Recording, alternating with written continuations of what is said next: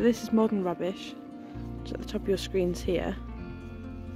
And that has been dumped within the last 10-20 years on top of the cliff. And there's only one way it can go, and that is down. And there's a lot of modern plastics in there, which is not good for the environment at all.